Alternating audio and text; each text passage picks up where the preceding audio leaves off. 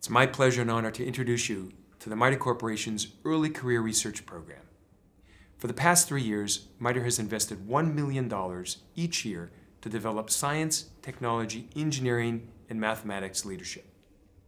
Created within MITRE's innovation program, the Early Career Research Program helps develop critical leadership skills, including how to perform research, how to manage a research project, and how to communicate results effectively. The Early Career Research Program is highly selective, and each participant pursues a particular research challenge under the careful guidance of an experienced research mentor, often simultaneously pursuing an advanced degree. Many participants work half-time on the direct program, accelerating transition of their research to MITRE sponsors. Now in its third year, the program has contributed to the development of 20 extraordinary individuals. Prior participants have had their work externally recognized, for example, as best papers at conferences, and even acquiring direct funding from the government. So, please lean forward and enjoy meeting one of MITRE's early career researchers. So let, us just let's jump right into it. Um, so so so let's start off with with a story, or really more of a, a fairy tale.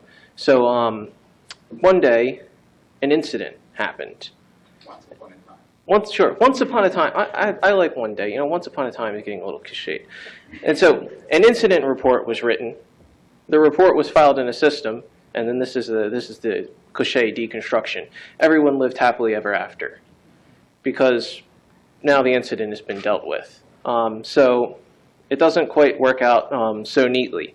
Um, and here you can look at two random kind of samples of incident reports from different areas. You notice, you know, there's check boxes, nice structured text parts of them, but the bulk of them is, you know, this little area for narrative or what happened, where someone has hopefully typed and in unfortunate um, places handwritten what happened in your incident. And this is going to get filed somewhere, and if you're lucky, OCR'd.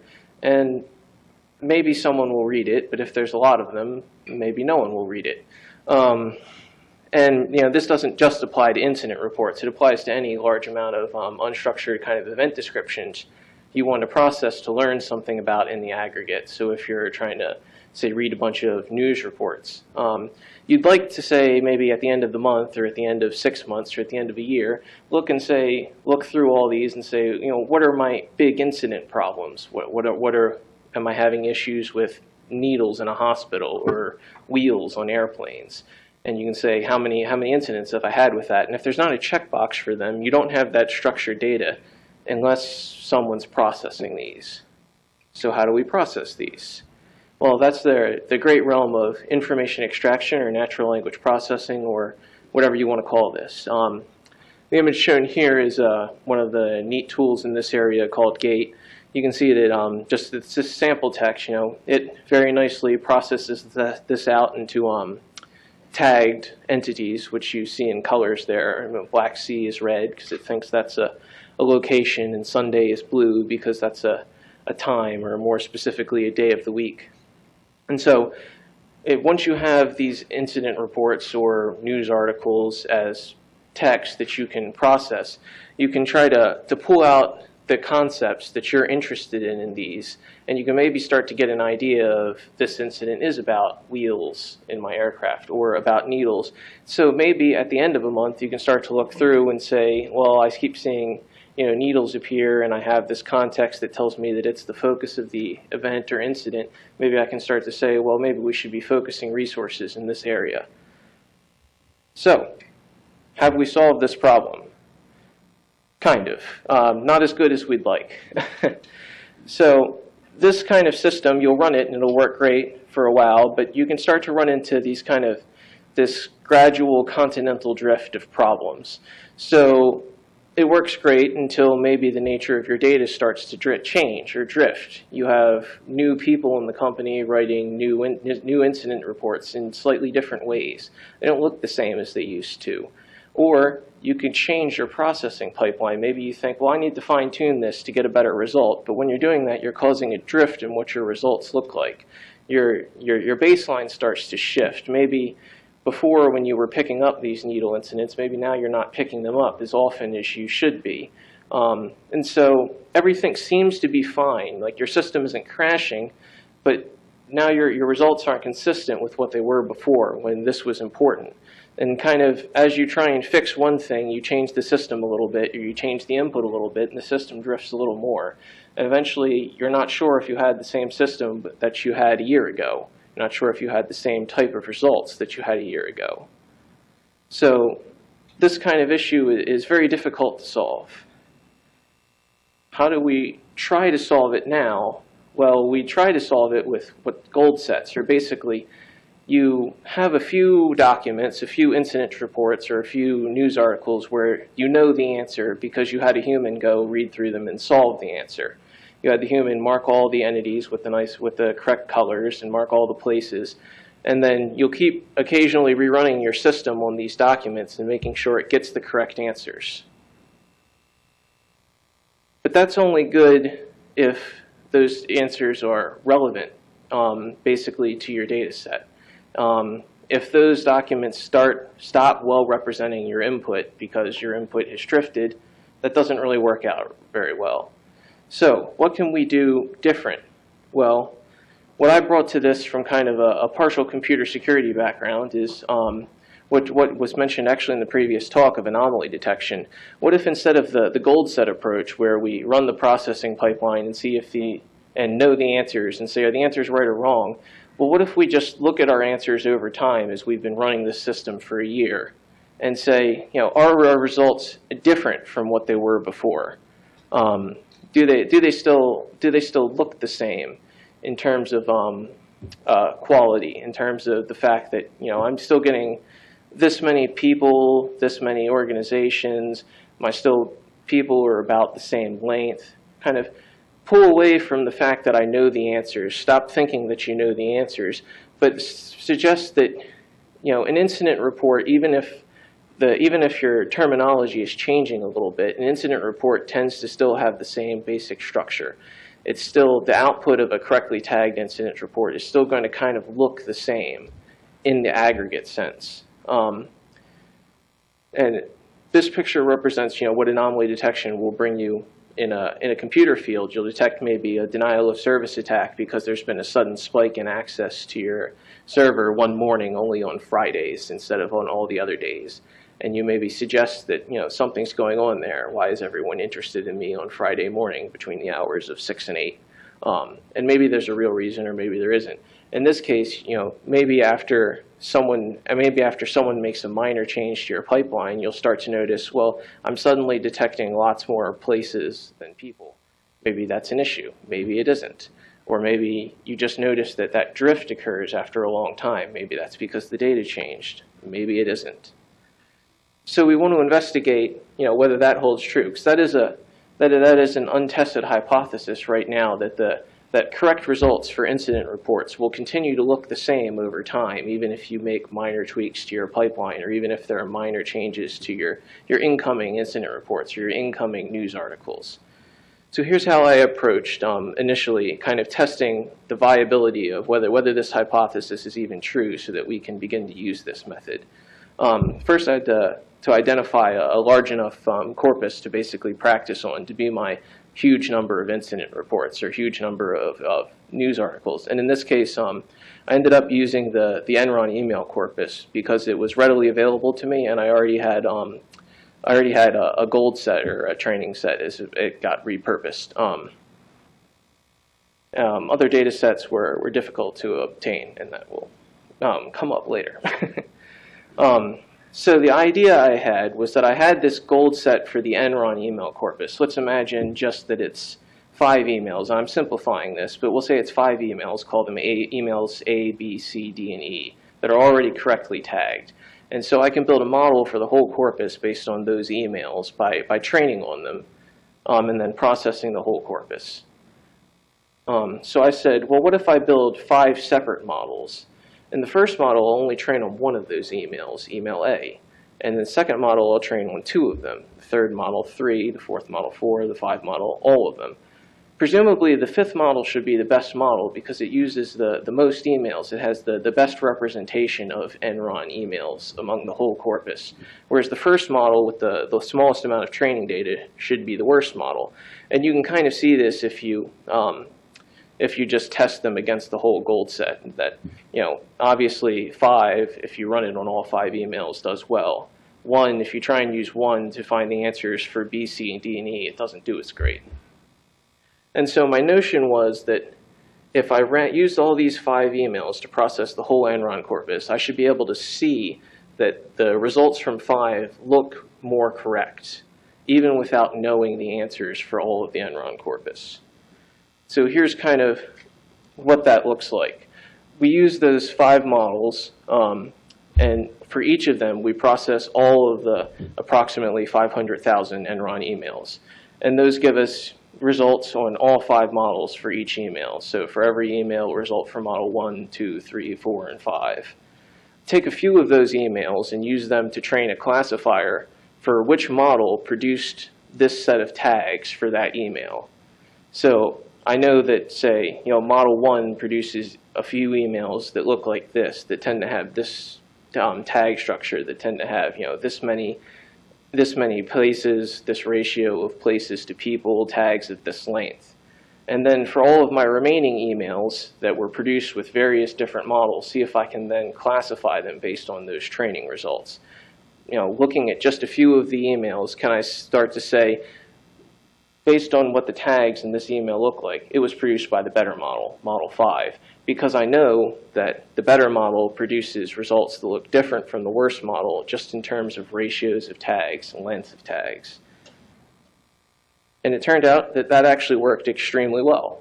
So in fact, just reducing the data set to the quantity of tags for each, uh, the quantity of tagged entities of the various types, um, places, people, organizations, um, email addresses, and money and such as that, um, uh, it was actually very easy to, to, to get a classifier to do extremely well um, on picking out which model generated this email result. Um, in particular, some of the um, some of the entity types tended to be too aggressive, um, and it's how I thought of it. For example, in terms of money, trying to identify money values in email, as you had less data in the model, it tended to um, classify things that were numbers but not actually money as money.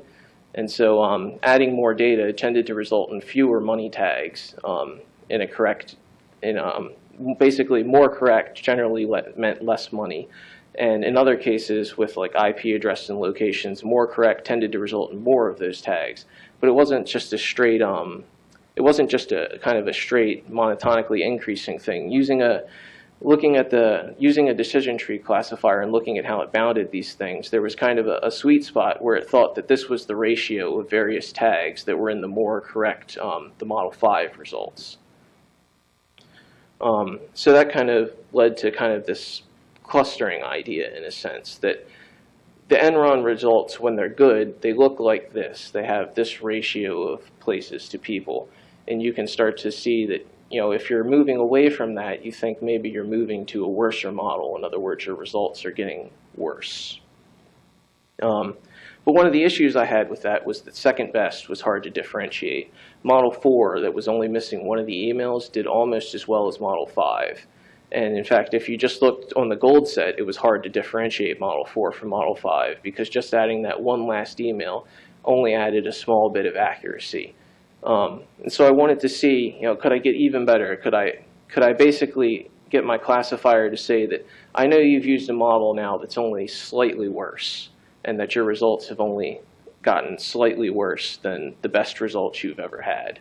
Um, and so I created, I still have Model 5, which is the best model, but now I have four weaker models that are all weaker in slightly different ways. They're, they're slightly um, reduced versions of the best model. And so again, I used all of those to, to process the, um, the, the Enron corpus, and as before, tried to differentiate between them, tried to see if I could um, identify the best model and separate its results from the results that were all slightly wrong. Um, and I had limited success at that. So by basically, you still see that there's this, this sweet spot where the Enron results um, have this ratio of tags that says that, you know, this is the, the, the better results. This is what your Enron is supposed to look like. But a lot of the, the models that are supposedly slightly wrong because they have less training data are all very near that. So if you try and um, if you try and get good detection on Model 5, basically have all your, your classifier always get Model 5 right, it tends to um, classify about half of the other models, about half of the results from all the other models as being in the Model 5. So you're only, um, you're only cutting out actually a little bit more than half of them you're cutting out. You're saying, yeah, I can tell these are all from one of the weaker models, which is, um, you know, it's not terrible. It's actually usable um, because you're you're minimizing your basically you're minimizing your um, so you're maximizing your true positives that you're not saying you're not being in model 5 but saying that you're wrong so you're not throwing up flags when you don't need to um, you're basically you're only throwing up flags when you're starting to get pretty sure that you know you're using a worse model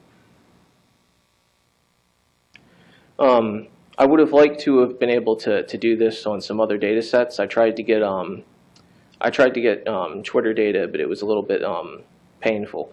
And also, um, I wasn't sure how well that would have um, how well that would have tagged up, but it would have definitely been a, a different um, notion because there would have been a completely different sweet spot for that kind of data if there wasn't one at all. I'd like to show that the same technique works on different data sets, even though obviously the the what good Twitter results look like is not going to look at all like what good Enron email results look like.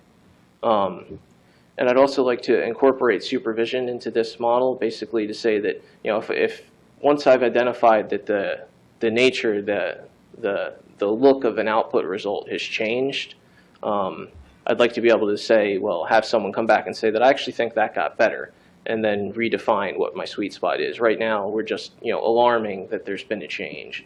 Um,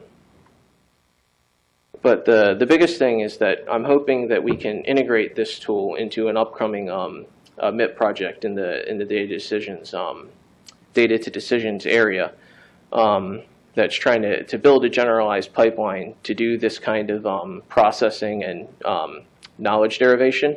And this, I'm hoping we can turn this into a tool that will run inside their knowledge store and can provide this kind of um, health and status or quality assurance um, tools so that it will be able to start throwing up flags after um, a long period of running the pipeline, starting to say, you know, your results look different and they look different in this way because you have this change in the in the distribution of tags and you know maybe you should investigate whether that's an issue maybe related to a change of the pipeline or a change in the data um, which you know can be useful in terms of again avoiding that that drift issue.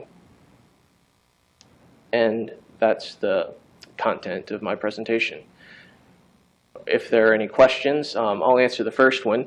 What you're seeing is a weka. It's a flightless bird, and it's also the name of the, um, the, the classification tool that I use to, to do the, the classifying and the clustering.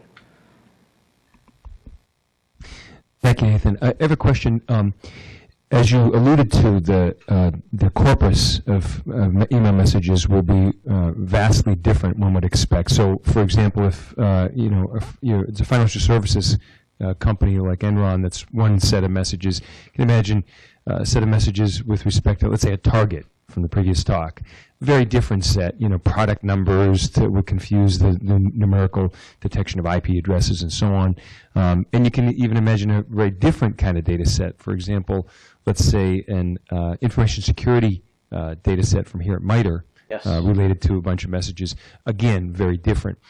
So my question is, uh, since clearly the, the, the statistics, the distributions will be radically different, my question is, did you look at all, or do you have any thoughts about how you would predict the coherency of a data set? So if, if you know they're going to be different, uh, one of the things that would be interesting is predicting the next message that comes out, right? Because you want to support the next, you know, target, you know, uh, customer service or um, or financial services. So you have a sense, you know, of, of how likely it is there, there are going to be outliers or how coherent the data set is over time uh, that might help you predict future performance?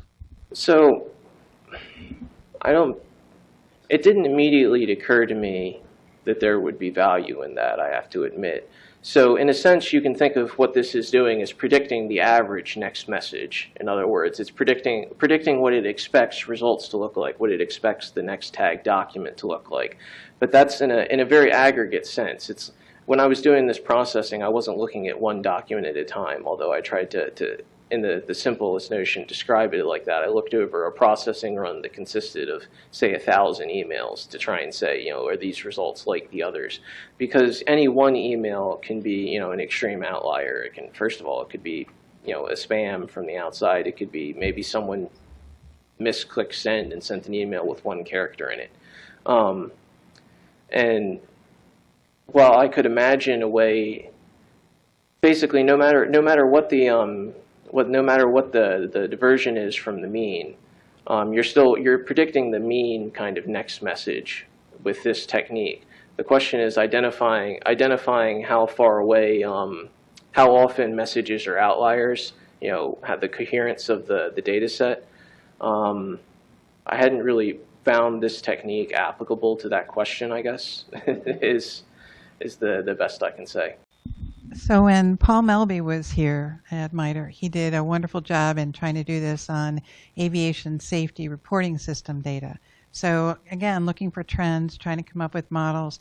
One of the issues that was identified in early on Paul's stuff was the effect of fatigue on both pilot performance and air traffic controller performance. So that goes to your prediction, but it's more like a mean. Where's the big trend now, right? So have you considered looking at some of the data on the CAASD side of the house, the FAA side of the house? Um, so Joe's trying to tell you to say it. there, there's there's there's lots of data I, I would have looked at there. Because I was coming at this from an NLP issue originally, there's a lot of um, NLP test data sets, and I tried to get access to a few of them, and each of them I basically would have had to go through kind of licensing with legal, and I really didn't want to have to deal with that at the early stage of my project because I wasn't familiar with it at all, and kind of like, you know, they ask you to, to come up with Gantt charts and stuff and list your risk, and this risk was like, it needed to be in font size 40. Um, and I was like, but you know, then I have this Enron corpus, and I, I, basically I stole it from another project which had just been able to just been using it, and so its risk was you know in font size eight. And I'm like, well, you know, this is this is good for me to start with the project. Um, so you know, if I kind of have the with, the leeway to to to go more into exploring explaining exploring the idea further. Yeah, I'd love to definitely. The next step is kind of to to start looking at data sets in radically different domains. Uh, and another uh, possibility, just to, um, the next steps, would be to try to correlate the changes as or the trends that were just mentioned with some external variable that you could uh, uh control. I mean, you could observe. For instance, I mean, just going simply in the in the Enron example you gave, how you would correlate the trend in certain tags versus the instability of something, or in the safety, how would you correlate some trains with change of some rules or try to, to run that data and against some external, to try to see how some external variable correlates with that. That could be some something interesting to, to do on that. Yeah. So, wow, it's getting very deep into NLP, which is not entirely my background. Part of um, what I was bringing to this and what got me interested in it is because I do um, software engineering work with a lot of the the NLP with a lot of um, NLP researchers. Um, so part of my goal for this project was to, to kind of abstract out the, the NLP knowledge, and that's why we're trying to, to look at the results without needing to, to understand why the, why the um, training documents are producing the, the answer, producing the model that they are, which is um, getting to the answers um, it is. Um, yeah, that's definitely worth exploring, but it would be far outside my level of expertise at this moment. Do you think there might be an implication um, when you go over a test data and try to find out uh, potential fraud? I'm giving are a keynote speech on the topic uh, in in about a month, so. Are, are you referring to specifically like the idea in uh, a fraud in terms of uh, writing a fraudulent report or a fraudulent email, talking about like fraud occurring in Enron? Um, So I had considered this, and it's possible, but I don't think this is the, the best application um, for solving that. So one of the ways is to theorize that, you know, a person a person who's writing, say, for uh, going back to the incident report example, you could you could hypothesize that a person who's writing a false incident report um, writes it differently than a person who writes a true incident report. The fact that they're they're committing fraud in their mind influences the way they write, and so it actually creates um, a pattern that looks different when you process it and when you tag it. Um, and that's one of the one of the applications I considered for this, but because I was kind of coming at it from a health and status um, point of view, it wasn't my focus. And also, I think I think if you made it your focus to detect fraud, you'd find um, a better way to do it than this specifically. Um, to a better way to approach the notion because you'd you'd probably specifically not just try and different you'd not just try and do a two cluster and hope that comes up to separate true and false, but you'd actually try and identify what the habits are of a person writing a false incident report and specifically look for those. Um, so basically, I think it could be, but I think you'd be um, kind of rigging it to do that when it's not the best solution. I actually was just wondering, um, did you try any other uh, classification algorithms outside of a decision tree? And Um, also, uh, I guess, why did you settle on a decision tree? Well, so yeah, actually, I, I used several um, classification algorithms, and in the, in the first step, when I was um, doing those sequential models, where um, Model One was very bad, Model Five was very good, um, you know, um, any classification algorithm you pick could actually um, not any, but a lot of the a lot of classification algorithms were basically able to, to do all of those uh, with extremely high scores, except for um, separating four from five, which were very close. Decision tree was um, important because I was able to to, to look at the the prune decision tree and determine where it thought the where it thought the big decisions were in terms of saying that you know, like I said before, when I was able to identify that you know money tended to be aggressively overtagged I was able to determine that by looking at the decision tree, by seeing that it was able to say that, that it had come to the conclusion that certain tags were certain of the certain types of entities were very important in distinguishing Model 1 from Model 2 from Model 3 from Model 4 and where it thought those breaks were. And it's harder to, to, to pull that information out from some of the other classifiers. But um, so decision tree, um, decision tree classifiers led me um, to a lot of led looking at the decision tree led me to a lot of my earlier realizations. But I also um, used um, uh, nearest neighbor classifiers and k-means in particular um, uh, tended to do well identifying, separating the, the best from the second best in the problem. Sure. Uh, I guess in the future you might also want to consider uh, random forests, um, which will also give you um, basically the deciding uh, va- uh, variables that are important to the classifying, uh, Okay. like features. thank you. Can you tell us what you learned about conducting research and particularly conducting it at MITRE through this project? Um, particularly about MITRE. Well, I'd say the the most important thing I learned was keeping um, kind of kind of keeping a a set of short-term goals in mind. Kind of um, always focused on you know what am I accomplish what am I going to accomplish within the next month or the next two months, so that there were there were many different directions I could have taken um, at different points. You know, I different different ideas that interested me, and, and that all existed within the general approach I was taking. And so I, I always had to kind of stop and think, you know, which which direction am I going to take that will that's not going to leave me just kind of possibly floating in the air, exploring different ways without ever coming to a a, a grounded result. Um, and so I always was kind of you know, refocusing myself, thinking, you know, is the direction I'm going to go going lead me to where I want to be in a month, in three months? You know, what what outcome am I going to produce in the short term and in the long term? And always making sure that you know, stopping every two weeks and making sure am I still on track to to accomplish something.